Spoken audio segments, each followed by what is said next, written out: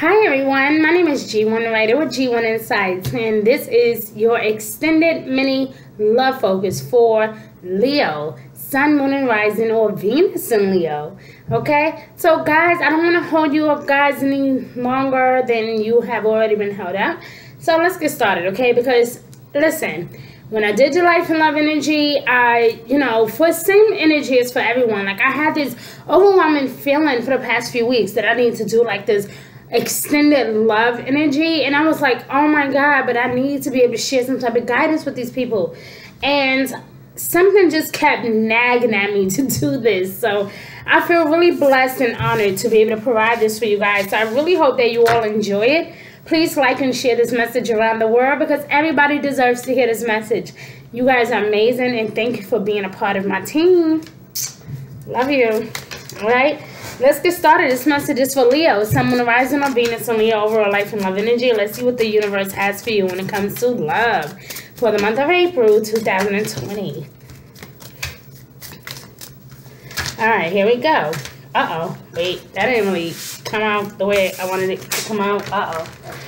Hold on, guys. Woo! Already stirring up something, right? Already. I didn't even get to pluck the cards yet. It's already like all over the place. All right, here we go. All right.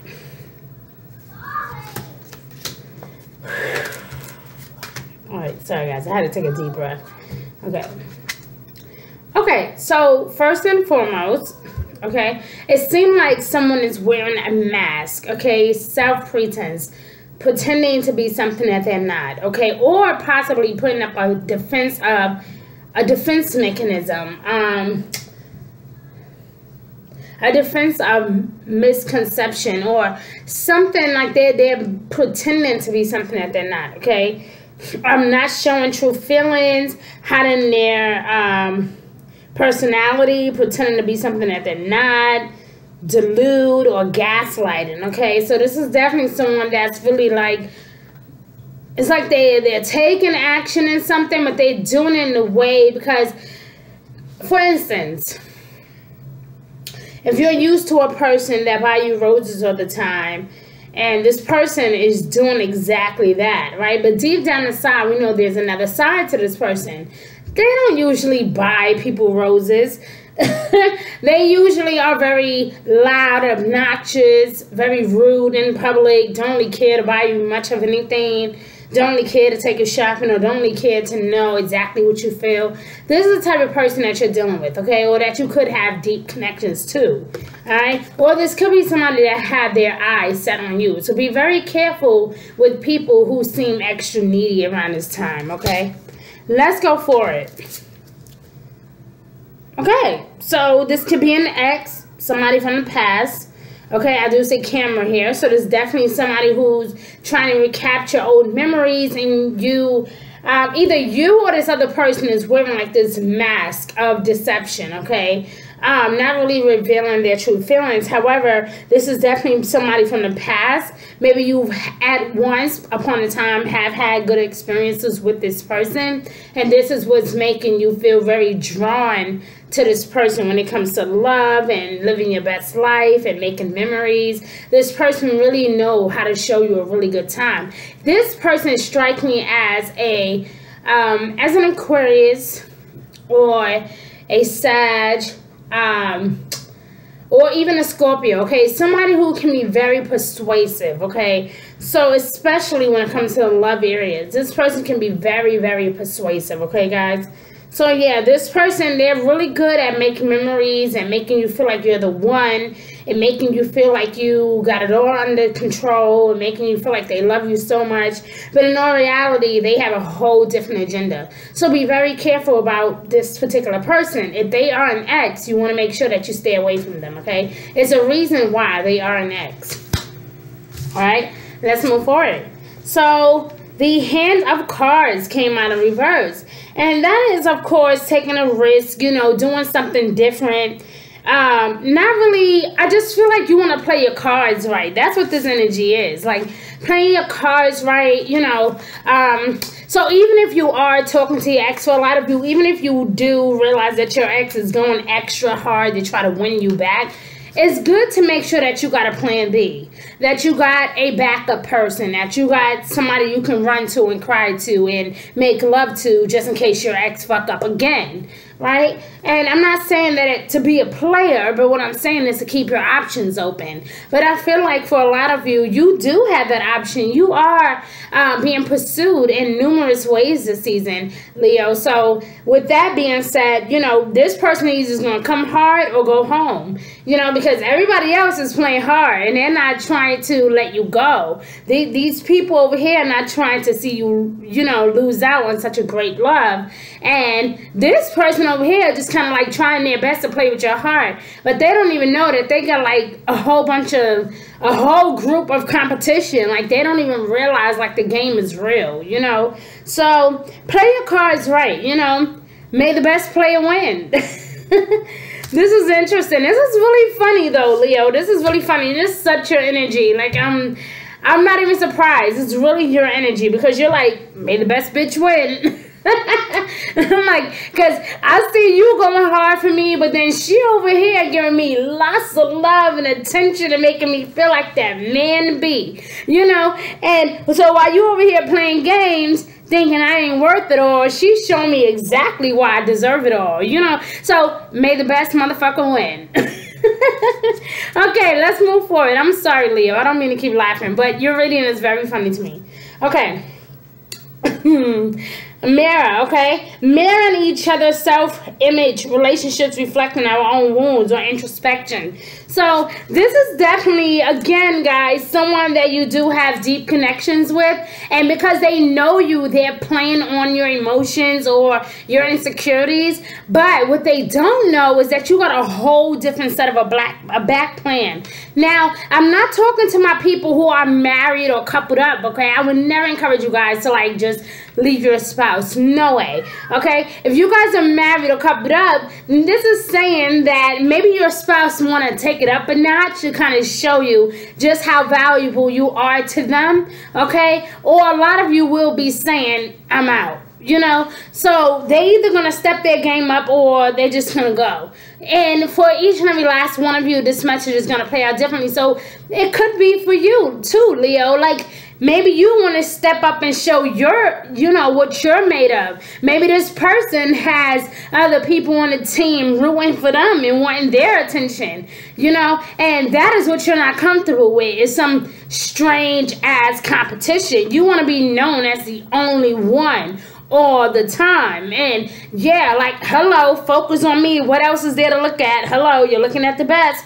Okay, that is you. And when someone else's attention goes away, you're like, hmm, they ain't better than me. And you feel like you got to put on this big facade or put on this big show to kind of prove exactly who you are and why you are the way that you are, right? Even if this is family or close friends, like you guys always feel like you have to outdo the other person. And I don't think you do it in a way to hurt other people. You, this is just a deep um, yearning or um, yearning for acceptance, okay? For people to realize that you're a great person, okay? And I think that as long as you don't try to force a Leo, it's going to happen naturally. This is going to be really beautiful this season, Dawn Love. This is going to be really interesting. A lot of things coming to the surface that you was not really expecting. Okay, so let's move on. Let's see what your soul is yearning for. Let's see what spirit has for you. And, you know, if there's anything that we can fix, we can fix. If there's anything that we can, um, change, then of course we'll change it, right? Um, but there's so much going on here, and I feel like Spirit really wants the best for you. So let's see what Spirit is guiding you to do this season and yearning and getting your soul ready for it, my love, okay? Wow. I mean, I am so blown away at this energy right now. You have no idea. This is with the part of my job that gets scary for me because I just said this for you. This energy that is going on, this I gotta do better. I gotta succeed. You know, I gotta show and prove. I gotta show them that I'm the best. Like, ah, this this energy, I just said this. This is about acceptance. The need to feel accepted. You have one person or maybe even a few people that accept you for exactly who you are. And then there's the others that you're deeply attracted to. And you're like, hi, hello, I'm over here. Why don't you see me? You know, like I'm the best there is. There's no other woman for you but me. You know, and you're calling out and you want their attention. Yeah, they're giving you their attention, but they're giving it to you in a way that in, in a way that make them feel comfortable. You know, like they're not giving their attention in a way that make you feel good. So how can you deal with all of that? Like that's a whole lot of a whole different platform of like self-esteem issues, right? Like how can you even deal with that? That's tough. But do you have these set of people over here that saying, listen, I love you in spite of all things, you know? I accept you. You're a good person. You're fun to be around. You're very loving. You're very supportive. You're funny. I imagine I can spend my entire life with you. You really brighten my day. You know, waking up with you is never a dull moment. Like you get to actually experience that this season with not just one person, but a few people. So there's, you know, there's a few players on the field, my love, and you gotta pick and choose who you want to be your your forefront guy. You know, the one who's gonna run and and actually show up and show out without a doubt, without insecurity. The one who's gonna say, "Yo, this is my chick. Yo, this is my man." The one who's not afraid to stand up to anybody else. This is, oh, I just feel a whole lot of like competitive energy here. This is interesting because this is exactly your energy, but this is where you're comfortable though, Leo. So it makes it more sexy and it makes it much more beautiful when you can be yourself around the people who love you the most. And yes, you're not the most attractive person I would choose, right? Like that's what I hear you saying. You're not the most attractive person I would choose, you know? But you're good to me. You're good to me. I love how you make me smile. I love how you just allow me to be myself. Um, I love how in the midst of my pain, you tend to make me laugh. Right? I love that I can come through whenever, however, and you just accept me for who I am, whenever, and whatever position I may be in. I may not always be my best self, but you love me anyway. This is so beautiful, Leo. So you get that. You know, look, look at this. I am learning to accept the things that I cannot change. Again, you're not always the person I'm totally attracted to, but you do have some some qualities about you that I truly admire.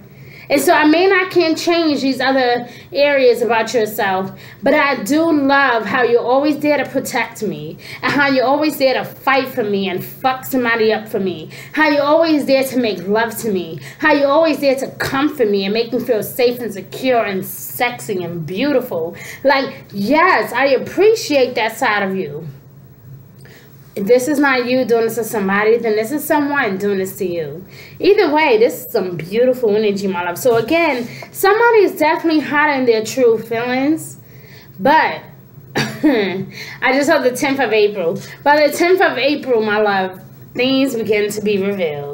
things will be revealed to you that you never suspected, okay? I love you, Leo. You have a wonderful season wherever you are on this beautiful beautiful earth, wherever you are in this beautiful universe, okay? Spread love and light, okay?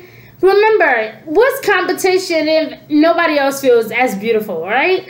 So spread that love and light and be kind to people. Share love in the world because we all need it at the moment, okay? And you do your best to be the very best that you can. And I'm super excited to see you guys next season because I believe that Fire Signs is going to have an amazing year. So I'm super excited to see you guys when it comes to your life and love energy for the month of May and June and so forth. Okay? Until next time, stay safe, guys. I love you.